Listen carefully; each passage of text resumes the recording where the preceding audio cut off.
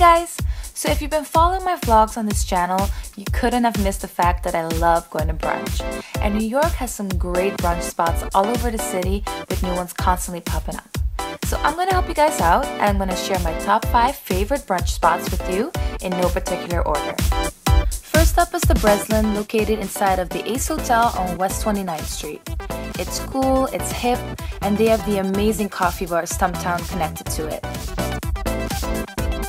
Next, we're going up north to Harlem on West 116th Street for some authentic soul at Amy Ruth's.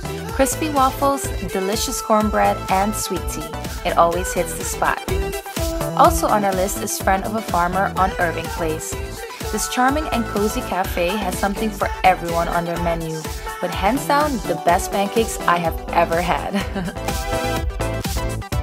Head over to Cafe Gitane on Mott Street in Nolita for a mix of French and Moroccan inspired dishes.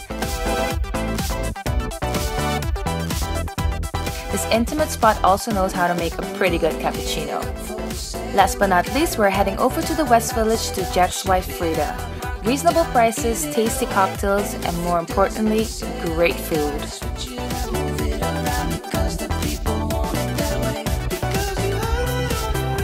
Balthazar, a traditional bistro and absolute classic for your Sunday brunch. It's located on Spring Street in the trendy neighborhood of Soho. It is on the pricier side, but totally worth it for those special occasions.